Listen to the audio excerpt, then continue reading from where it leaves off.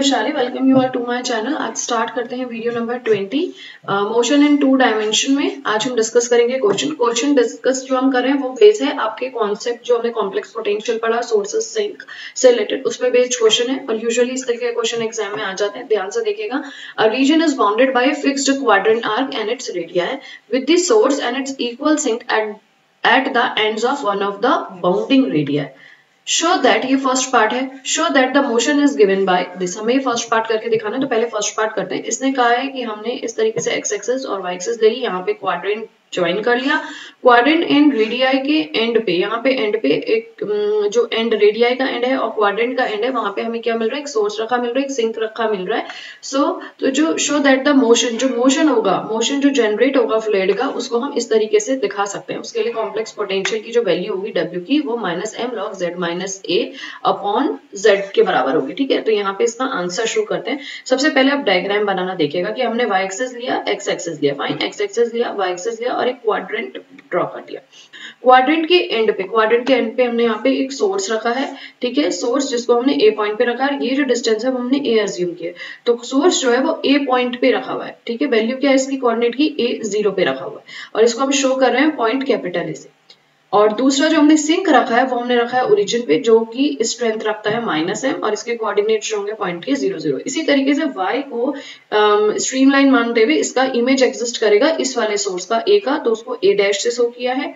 सो so, जो distance है ये ओरिजिन से माइनस ए है तो पॉइंट इसके होंगे माइनस ए ज़ीरो और स्ट्रेंथ जो है वो प्लस एम से शो की गई है ठीक है? तो इस पे बेस्ड हम क्वेश्चन करेंगे। देखिए यहाँ क्या दिया गया the object system and its image system object system and the image system is consist of source sink and a image source.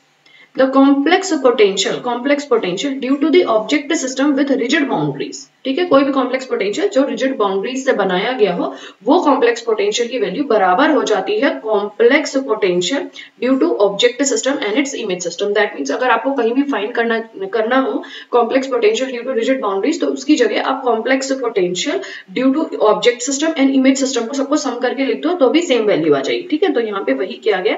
Final complex potential fine किया गया। ठीक है? कॉम्प्लेक्स पोटेंशियल का फॉर्मुला में पता है W is equals to minus M log Z minus Z one M क्या होता है? स्ट्रेंथ होती है और जेड वन क्या होता है? वो पर्टिकुलर पॉइंट होता है जहाँ पे वो कॉम्प्लेक्स पोटेंशियल लाई करता है। जहाँ पे वो सोर्स या सिंक लाई करता है तो उससे फॉर्मूला बन जाएगा कॉम्प्लेक्स पोटेंशियल का। सो so, हमने ये लिख दिया ए डैश के लिए तो क्या बन जाएगा? Minus M log Z minus A तो z प्लस ए बन गया माइनस माइनस इसी तरीके से इसके लिए क्या बन गया माइनस एम सो सिंक का minus minus plus so plus M log Z minus zero इसी तरीके से minus M log Z minus एक। तो ये फाइनल कॉम्प्लेक्स पोटेंशियल आ गया, इसका फॉर्मूला आप सॉल्व कर दीजिए।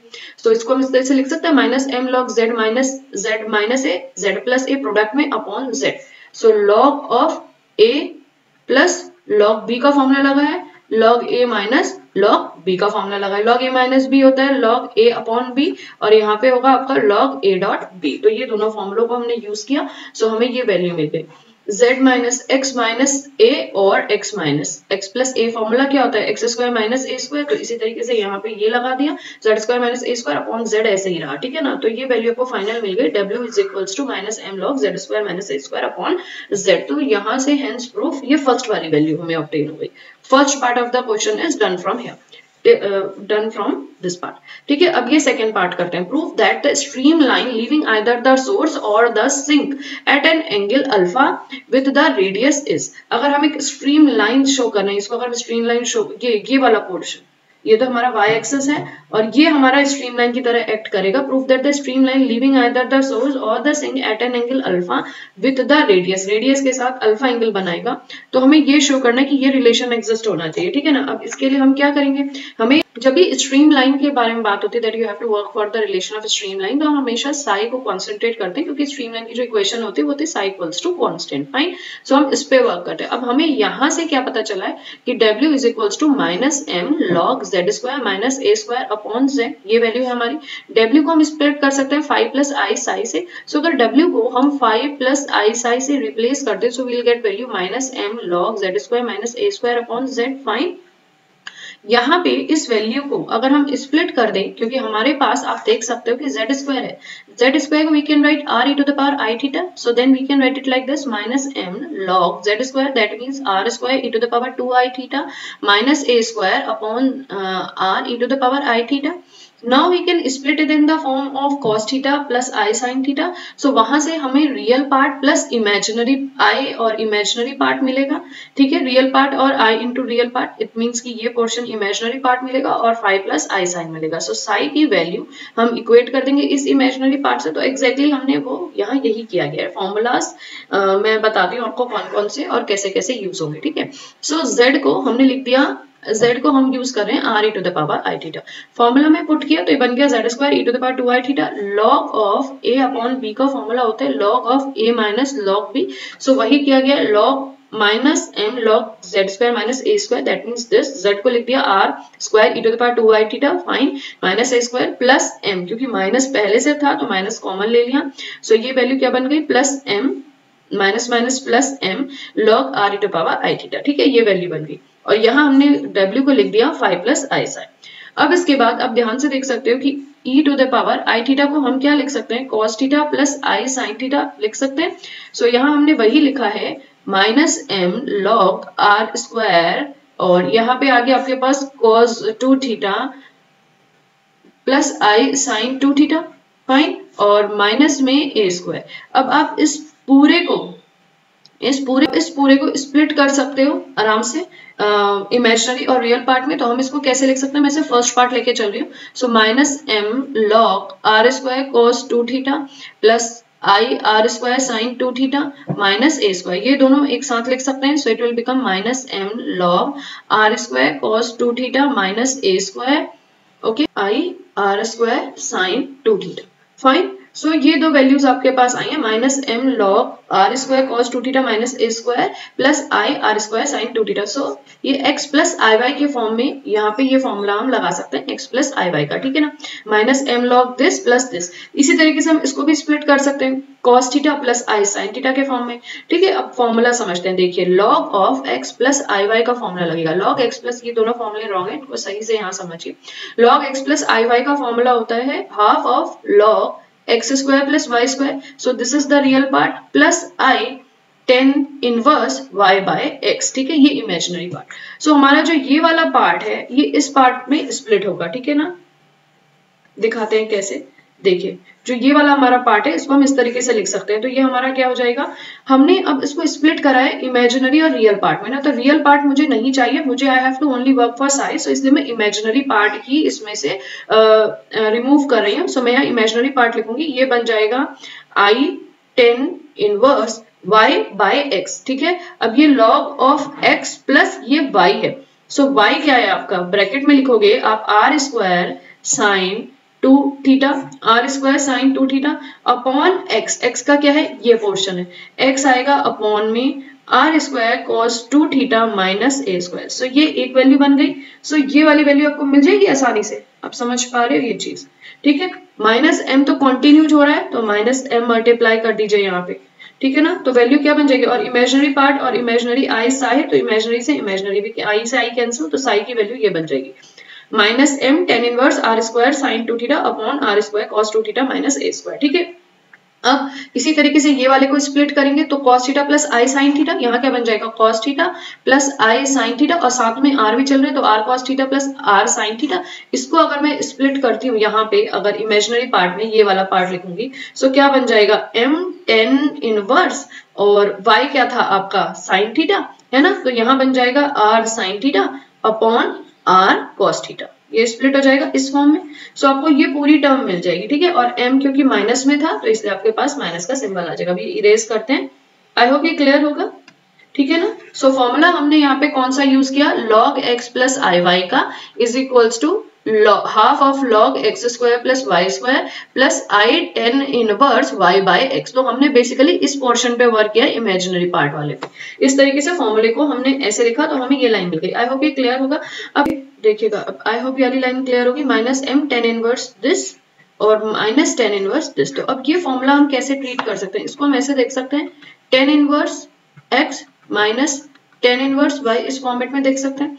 Tan inverse x minus tan inverse y का फॉर्मूला क्या होता है? Tan inverse x minus y upon one plus x y ये फॉर्मूला होता है टेन इनवर्स का तो यहाँ पे ये चीज़ लगी है, ठीक है? इस स्टेप में आने तक। देखिए कैसे लगाए सो टेन इनवर्स एक्स आपके पास क्या है? ये है पूरा एक्स सो ये बन जाएगा आपका r square sine two theta upon r square cos two theta minus a square ठीक है? ये एक्स है। Minus of y sine theta upon cos theta upon में, ये पूरा एक साथ है अपॉन में one plus r square sine two theta upon r square cos two theta minus a square into sine theta upon cos theta इस तरीके से ये वाला फॉर्मूला इसको आप ऐसे स्प्लिट करोगे तो यहाँ से ये चीज़ मिलेगी।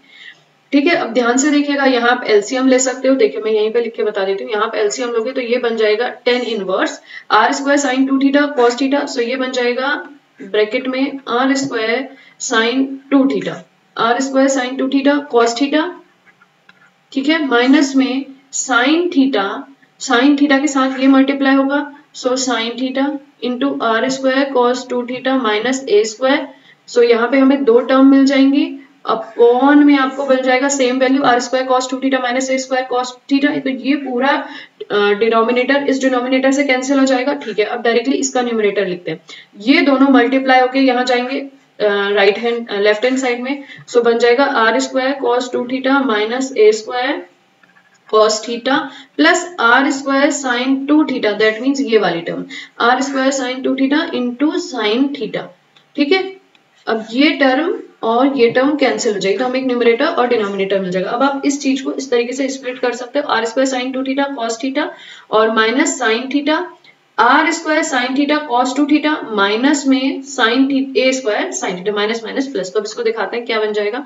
R square sine two theta cos theta minus r square cos two theta sine theta minus minus plus a square sine theta. ये आपको न्यूमरेटर के अंदर का टर्म मिलेगा। R square sine two theta cos theta minus में r square sine theta cos two theta और plus a square sine theta. ये हमें पूरा न्यूमरेटर मिल गया। बाद में माइनस एम और टेन इनवर्स चल ही रहा है। ब्रैकेट के अंदर देखिए, यहाँ पे न्यूमरेटर में क्या डिनोमिनेटर में क्या मिल जाएगा? R square cos two theta. ठीक है? माइनस ए स्क्वायर और cos theta plus r square sine two theta cos theta. I hope ये क्लियर होगा मैं पूरा इरेज कर देती हूँ। ठीक है? आई होप ये लाइन क्लियर हो गई कि यहाँ से हमें ये कैसे ऑप्टेन हुआ। अब तो आप इजीली सॉल्व कर सकते हो ना? अब तो आप लोग इजीली सॉल्व कर सकते हैं। यहाँ से हमें ये मिल गया। ठीक है? अब ध्यान से इसको देखिए, किस तरीके से लिखेंगे। R square sine two theta cos theta minus r square sine theta, cos theta, plus a square, sine theta, ठीक है? अब ये वाली जो टर्म है, इसमें से आर स्क्वायर कॉमन ले लीजिए। और ये फॉर्मूला किसका है? Sine two theta, cos theta.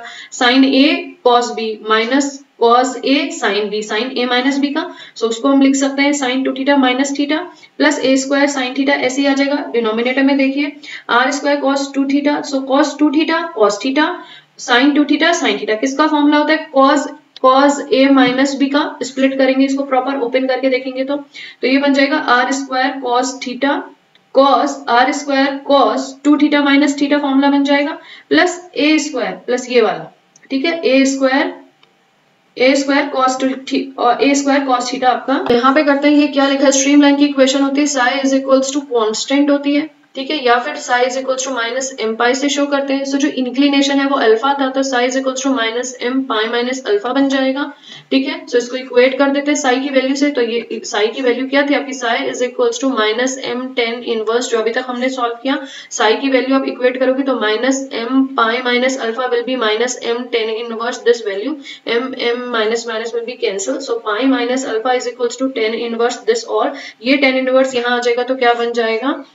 Tan inverse pi minus alpha so tan inverse यहाँ जाएगा तो क्या बन जाएगा? Tan pi minus alpha and this whole value तो इसको हम स्प्लिट करके कैसे लिख सकते हैं? टेन अल्फ़ा ठीक है? So tan alpha will be और r square plus a square sine theta upon this पूरा. सो टेन अल्फ़ा को sine alpha upon cos alpha लिख सकते हैं. फिर उसके बाद आप मल्टीप्लाई कर दोगे तो it will be minus sin alpha upon cos alpha is equals to r square plus a square sin theta and so on r square minus a square cos theta अब जब आप इसको सॉल्व करोगे तो आपको ये फाइनल आंसर मिल जाएगा r square sin alpha minus theta equals to r square sin alpha minus beta तो जो वैल्यू हमें यहाँ पे शो करनी थी वही चीज़ हमें मिल जाएगी r square sine alpha minus theta minus a square sine alpha minus theta sine alpha minus theta एक बार मैं इसको इरेज करके आपको और दिखा देती हूँ।